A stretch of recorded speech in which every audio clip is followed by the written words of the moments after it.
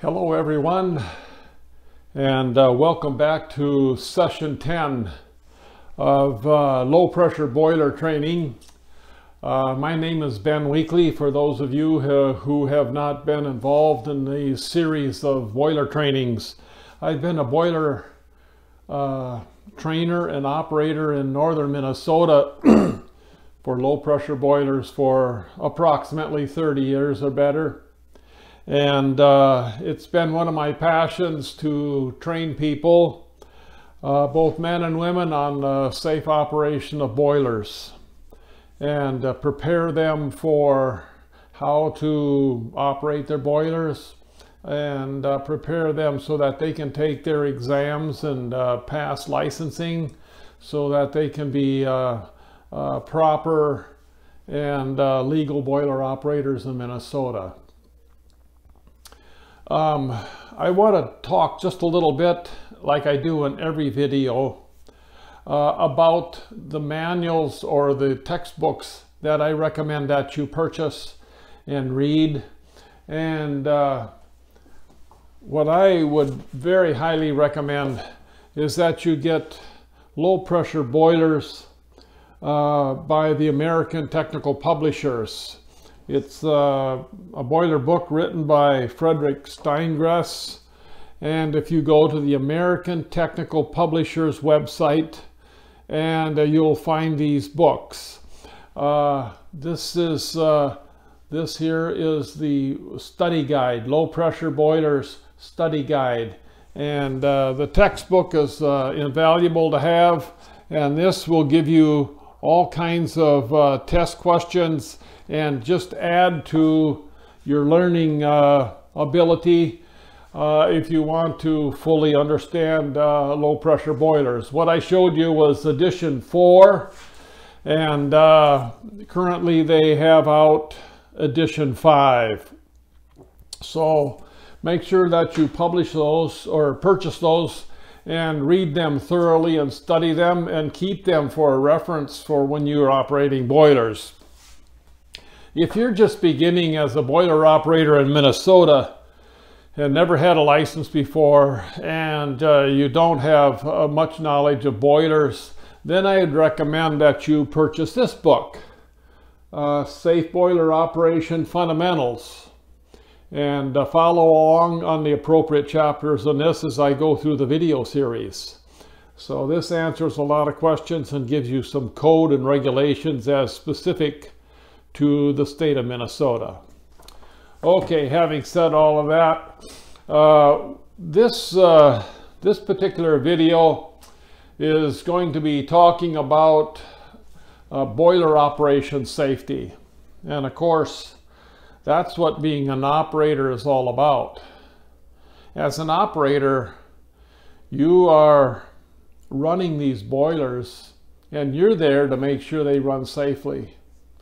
Sure, it's important to run them efficiently and all of that, but uh, safety is paramount when it comes to boilers. Now, we're going to talk about some various agencies and organizations that are critical uh, to the operation, the manufacture, and so forth, the inspection and so forth of boilers.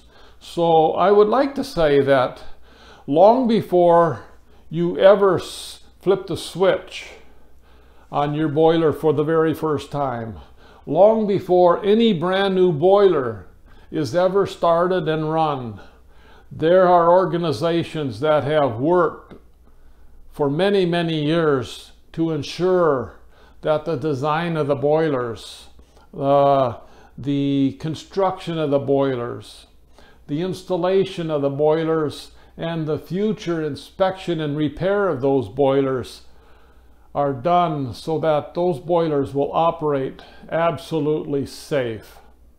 And so because of these organizations and because of licensing and training of the operators, you very rarely ever hear of any type of boiler explosion.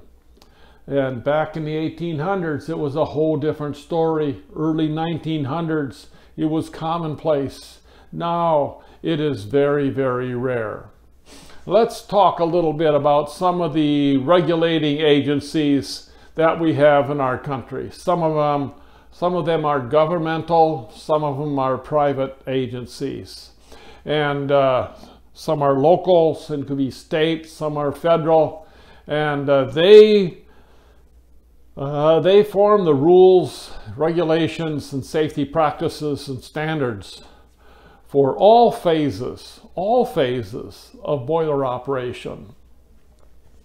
One of the large organizations in, uh, in the United States that probably all of you are familiar with in some way or another, and uh, that has uh, that has meaningful input on the construction and operation of boilers, especially the operation of them, is an organization called OSHA. It's a federal organization, and uh, they are instrumental in keeping boilers operating in a safe manner. The another federal government organization is called the EPA. And uh, years ago, back when I was a young man, uh, the EPA was just in its infancy and it has to do with the environment. And I can remember when my father ran a coal boiler at the high school and it was not run very efficiently.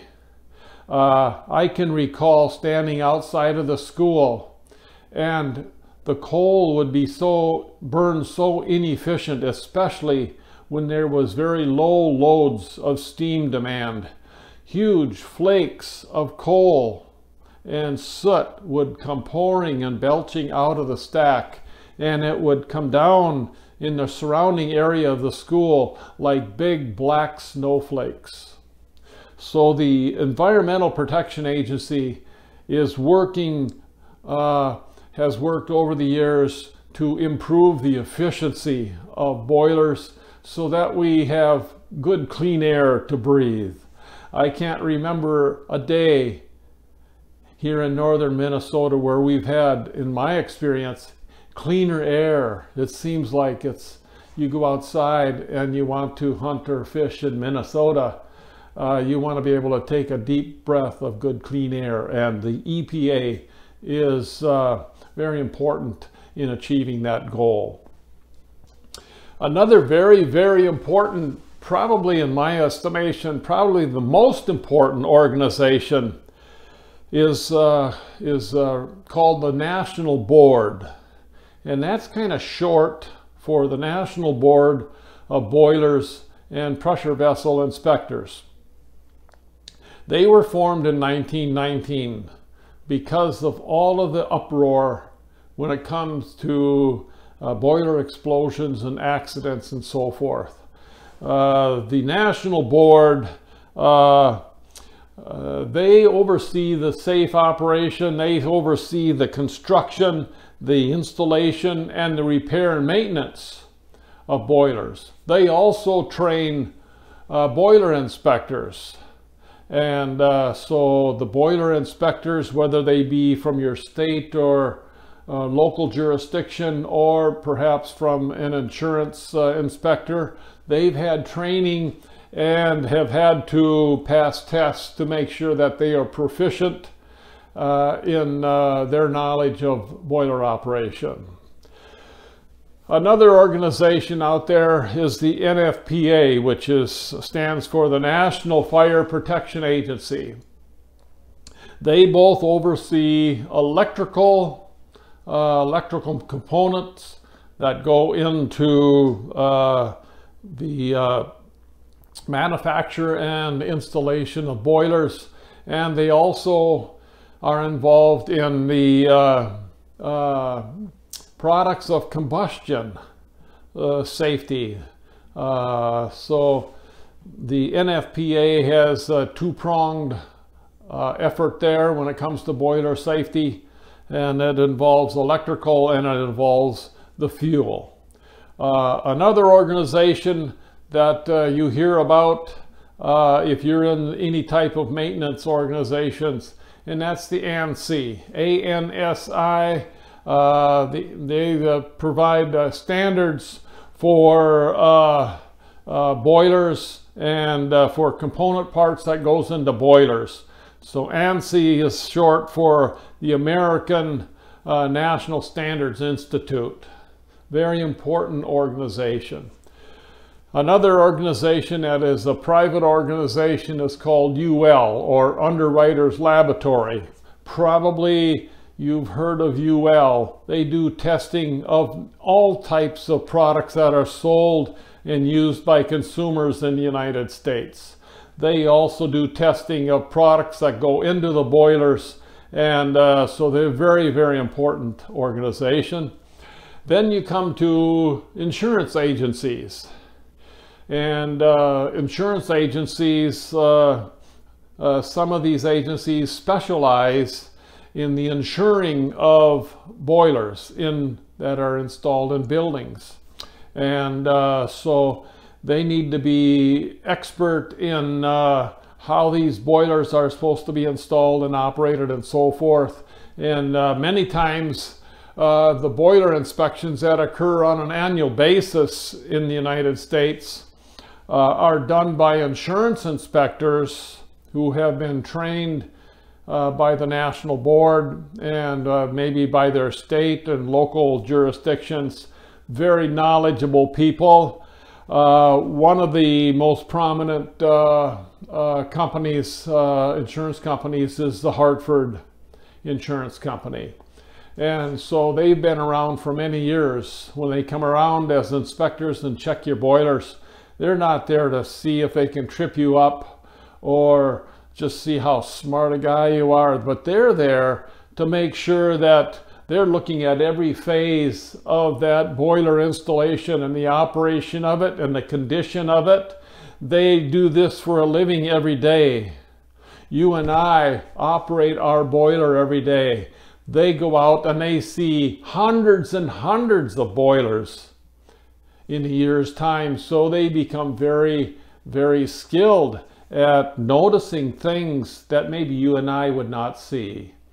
So it's always important uh, when you're operating a boiler to have somebody that uh, takes a different look at it, has a different set of eyes, maybe sees something that we're doing that isn't quite right and can work alongside us to make sure that that gets corrected and uh, make sure that our boilers are being operated in a safe manner. All of these organizations that I've talked about, OSHA and uh, the EPA, the National Board, uh, the NFPA, ANSI, UL, and insurance companies, they work together like a huge safety net to make sure that people aren't being killed or injured as boilers are being operated.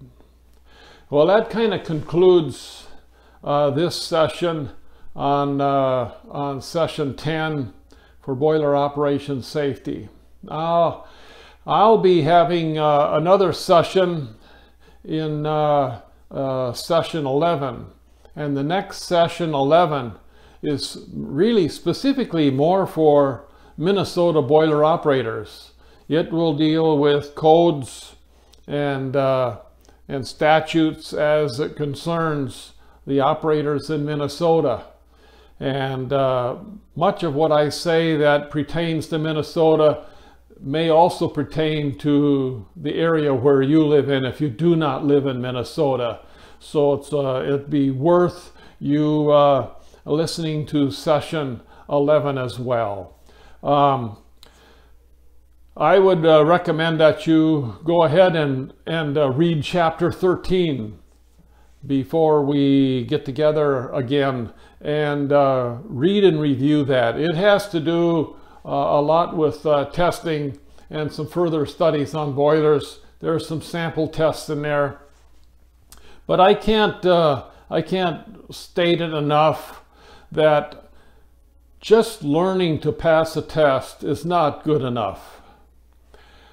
Anybody can study just to learn to pass a test and then a week later 30 to 40 to 50 to 60% of what they learned they don't recall at all. So what I would recommend is that if you stumbled upon this video, that you, you click on the subscribe button. And by doing that, it doesn't cost you anything.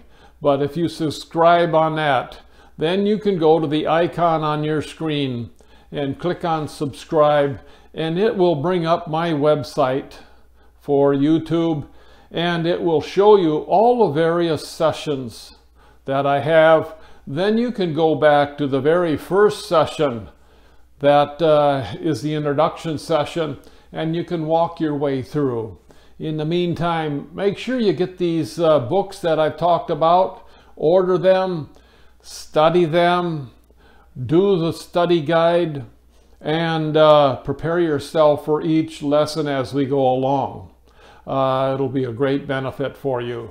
These books, as you, as you read them and study them, will be a source that you can go back to as you operate your boilers. You know, boiler operation itself hasn't changed much over the years. Water still boils at 212 degrees today, just like it did a hundred years ago. So use these books as a resource. So as you clean your boilers or first start up your boilers or you lay up your boilers in, in the off season, you can go back to these books and walk through it step by step so you're not missing something and so that you're not just guessing at stuff unless you work with boilers every single day, uh, sometimes it's easy to forget some of that stuff.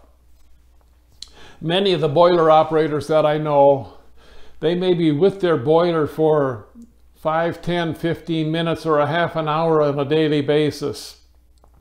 They're doing other things. They're driving trucks, they're making deliveries, they're sweeping or they're shoveling snow, that type of thing, or they're doing maintenance around the building. And uh, so being a boiler operator is just a single portion of their entire job responsibilities.